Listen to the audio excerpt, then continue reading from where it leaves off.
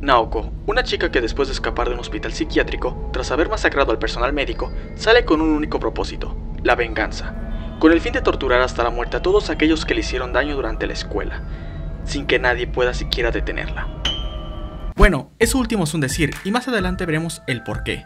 Bienvenidos nuevamente a esta sección de críticas en donde les traigo esta historia de Halloween, la cual es muy conocida en el mundo del manga, pero para los que solo ven anime, creo que puede que muchos ni la conozcan. Cabe aclarar que habrá spoilers del manga, del cual no te pierdes de mucho, por lo que mejor quédate que te haré un resumen del mismo hablando de sus puntos buenos como de los malos. Así que sin más dilación, demos inicio con la historia de Pumpkin Night.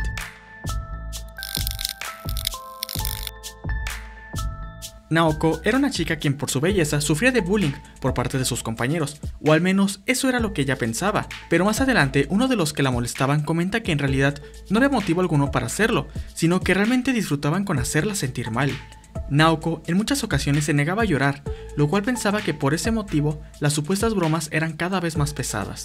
Ahora, no crean que eran pequeñas bromas, sino que realmente entre varios la agarraban a golpes y patadas y en una ocasión hasta le cortaron el cabello. Pero no fue sino hasta el evento de Halloween de la escuela, donde fue ganadora como la chica más bonita, por lo cual ella sería Pumpkin Knight y usaría la máscara de calabaza. No obstante, Naoko no sabía que dentro de la calabaza habían pequeñas bolsas de ácido sulfúrico y petardos, por lo que una vez que se puso la máscara, los petardos comenzaron a explotar rompiendo las bolsas con ácido, y mientras Naoko en el suelo gritaba de dolor, todos sus compañeros de clase veían su sufrimiento hasta que una vez la máscara deja de ocultar su cara, vemos el rostro destrozado de Naoko, toda la piel de la cabeza derretida. Esta vez estuvieron a nada de matar a Naoko, y algo dentro de ella cambió dejó de ser la chica amable que era para convertirse en un ser llena de deseos de venganza.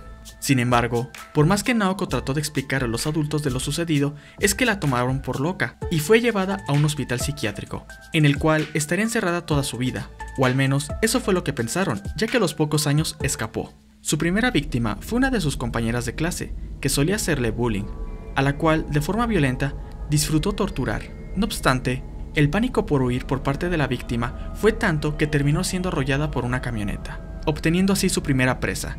Ya solo faltaba ir por los siguientes. Su siguiente víctima es otra de sus excompañeras, la cual estaba en el velorio de su amiga, que un día anterior había sido atropellada. Pero esta chica, sin saber, sufriría incluso más. No solo le hirió con cortes y fracturas de hueso, sino que, una vez la dejó inconsciente por las heridas, la metió en el ataúd de su ya difunta amiga, para que cuando se llevaran el ataúd al crematorio quemaran viva a su víctima, y así sucedió. Sin embargo, alcanzaron a escucharla gritar que cuando la sacaron del horno crematorio ya contaba con quemaduras de tercer grado en todo su cuerpo. Fue hospitalizada en urgencias, pero Naoko no tardó en hacer presencia, terminando así el trabajo y cargándose a su segunda presa. Durante todo este tiempo se nos venía presentando otro chico de nombre Kazuya, que según tenía cierta cercanía a Naoko, cuando ambos eran compañeros de clase, pero al mismo tiempo Kazuya era amigo de los mismos que le hacían bullying a Naoko. Él nunca participó en agredirla físicamente, pero se quedaba viendo de cerca todo lo que le hacían, algo de lo que Naoko culpa a Kazuya por siempre quedarse viendo sin ayudarla. La siguiente presa de Naoko sería otro de sus ex compañeros, pero esta vez se trata de aquel que provocó que Naoko perdiera su rostro y casi la vida. Sin embargo, este logró atrapar a Naoko con ayuda de otro amigo, le habrían matado a golpes, de no ser porque por primera vez Kazuya intervino en su ayuda, la cual de nada sirvió, porque de un golpe lo pusieron a dormir, al igual que Naoko. Al final, vemos que tiran a Naoko y a Kazuya en un agujero de una zona de construcción, donde vemos que Kazuya logró sobrevivir. No obstante, Naoko murió desangrada a causa de unas varillas que perforaron todo su cuerpo. No sin antes jurar venganza. Este fue el resumen del que podríamos llamar como primer arco del manga de Pumpkin Knight, y es que efectivamente muere Naoko. Bueno, hay muchas cosas que quisiera aclarar con respecto a Pumpkin Knight. Si podemos aplaudir algo de la obra es el apartado artístico. Sin duda, el ilustrador hace no un buen trabajo, sino me atrevo a decir que increíble, ya que las partes gore son realmente detalladas, que logran hacerte sentir incómodo al momento en que vas leyendo y ves las ilustraciones. Casi hasta te imaginas el dolor por el cual pasan los personajes, y debo admitir que es la primera vez que un manga logra hacerme sentir esa sensación, por lo que le doy un punto a favor. Y precisamente por esa razón es que siento decepcionarlos, pero es muy posible que nunca llegue a la animación esta obra, ya que todo sería censurable, como el caso de Pupa, donde prácticamente eran 3 minutos por capítulo, un minuto de opening, otro de pantallas negras por censura y el último minuto de ending. Otro gran puntazo que se lleva la obra es el personaje de Punky Knight, Cuando ves por primera vez la portada o una imagen de Pumpkin Knight, el solo ver a Naoko con la máscara de calabaza y el cuerpo lleno de cicatrices te hace detenerte a querer saber más de dicho personaje. Simplemente es una forma de enganchar a las personas con solo ver una imagen de Naoko siendo Pumpkin Knight. Simplemente un excelente personaje icónico para atraer al público. Ahora, si eres fan de Pumpkin Knight, siento decepcionarte con mi crítica, pero hasta aquí llegan los únicos dos puntos a favor que tiene el manga, porque lo que sigue es un viaje a lo que no se debe hacer en una obra. Seré directo sin dar rodeos, y de entrada les diré que este manga es una obra de lo más mala. Caca, Tulio. Digamos las cosas como son entra sin duda en mi top de obras decepcionantes que he leído, ya que pudo haberse convertido en una gran obra. Ahora, si tú eres fan de Pumpkin Knight, está bien, para gustos colores y tus gustos son tan respetables como el de los demás, pero en mi caso debo decir que la forma en cómo se desarrolla esta historia es de lo más pobre e incluso me atrevo a decir que es mala hasta llegar a lo absurdo. En serio, llega a un punto absurdo que hasta los mismos fans de Pumpkin Knight han notado una increíble falta de lógica y creatividad por parte del autor. Uno de los puntos negativos es que carece de cierta lógica los sucesos.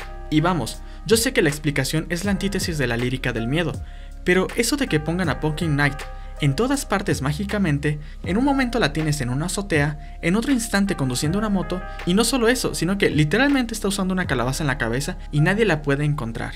Está en todas partes al mismo tiempo y para mí eso es pésimo, no tiene sentido. Y para que haga mención de esto es porque no sucede pocas veces, sino que a cada rato hace apariciones y desapariciones en instantes. Y ni hablemos de cómo Pumpkin Knight hizo explotar un automóvil con solo aventar un encendedor.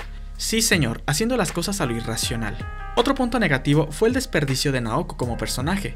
Cuando inicié leyendo el manga, lo que más me intrigaba saber era cómo era aquella hermosa y dulce chica que terminó convirtiéndose en una asesina, y pensé que poco a poco conforme avanzaras en la historia, irías descubriendo más del pasado de Naoko.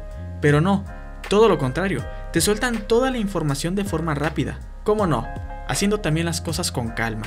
Yo sé que algunos me dirán que eso se debe a que el personaje de Naoko muere enseguida, por lo que lo importante era soltarte esa información, pero ese es exactamente el punto. Deshacerte de tu personaje estrella fue la peor decisión que se pudo haber tomado. Leyendo los comentarios de las personas, notaba que la gran mayoría no les agradó el hecho de que Naoko muriera y Pumpkin Knight fuera reemplazado por otro personaje. La verdad, se pudo explotar bastante a Naoko, conocer su pasado como estudiante, las complicaciones que sufrió tras las quemaduras con ácido en la cabeza, así como sus días en el hospital psiquiátrico.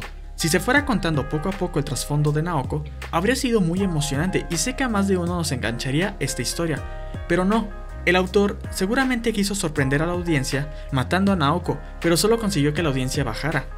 O al menos así yo lo percibí por parte de los comentarios. Ahora, sé que no soy el único que lo piensa, y claramente podemos ver reflejada la calificación que tiene el manga a comparación de otras obras. Para los que se preguntan, oye, ¿y si la chica asesina murió entonces, cómo sigue la historia? Pues no te preocupes, porque aquí resulta ser que Pumpkin Knight no fue una creación de los delirios de Naoko, sino que es algo así como un espíritu vengativo que puede llegar a poseer a los personajes que buscan venganza, como fue el caso particular de Naoko. Tras morir Naoko, Kazuya su amigo, entre comillas, pero comillas muy, muy grandes, terminó siendo poseído por el ente vengativo de Pumpkin Knight, adquiriendo todas las habilidades y destrezas de un asesino. Por cierto, esto de amigo entre comillas enormes lo digo porque Kazuya se juntaba con los mismos que le hacían bullying a Naoko, y no solo eso, él se defiende diciendo que él nunca le hizo nada, pero sí se quedaba viendo todo lo que le hacían, o sea, un asco de personaje desde que lo leí. Pues bien, volviendo al tema, Kazuya pasó a ser el siguiente Pumpkin Knight, por lo que Naoko nunca terminó de concretar su venganza, haciendo que su final sea algo de lo más amargo, ya que no logró vengarse ella de los que le hicieron bullying. Y no solo eso, todo el trasfondo de que ella fue escogida como la Pumpkin Knight en el festival de Halloween de la escuela le quita el trasfondo a la historia del personaje, porque al final, Pumpkin Knight no se originó de la mente de Naoko, sino como les expliqué, simplemente fue poseída por el espíritu vengativo de Pumpkin Knight, o sea, toda una coincidencia que se haya puesto una calabaza en la cabeza aquella noche y que la misma calabaza la usara de máscara. Kazuya al final terminó concretando la venganza de Naoko, y este terminó en un hospital psiquiátrico. Y la verdad, no merece la pena que abarque más de la historia, porque solo se vienen cosas absurdas como si el autor tratara de buscar una forma de impresionar al espectador, pero simplemente no lo logra. Lo que sí logra es enganchar a las personas por el morbo del gore, y ver cómo los personajes mueren y son torturados, pero de ahí en más el manga no ofrece ni una buena historia y la narrativa corre la misma suerte. Sinceramente considero un insulto que el autor no entierre el manga de una vez por todas, y casi me imagino que no tiene ni idea de cómo acabarla, pero la verdad no hace falta que se rompa el coco imaginándose el final, ya nos demostró que no le sabe a la creatividad. tanto que hasta tuvo que revivir a Naoko en una parte de la historia. ¿Qué? ¿Olvidé comentarlo? Pues sí, eso hizo. Así de desesperado está el autor por seguir llamando la atención. Si no has leído el manga y piensas que exagero, adelante, date una vuelta y en cada uno está decidir qué opinan sobre el manga. Así que las preguntas son para ti. ¿Has leído Punky Night? Y de ser así, ¿qué te pareció a ti la obra? Te leo en los comentarios. Para mis suscriptores y personas que me siguen, les recuerdo que pueden apoyarme uniéndose a mi programa de miembros o dejando una pequeña donación. Siempre son de ayuda para seguir apoyando al canal. Si el video te gustó, no olvides dar like y suscribirte al canal para más contenido relacionado con el anime y el manga. Yo soy Richter y nos vemos en el próximo video.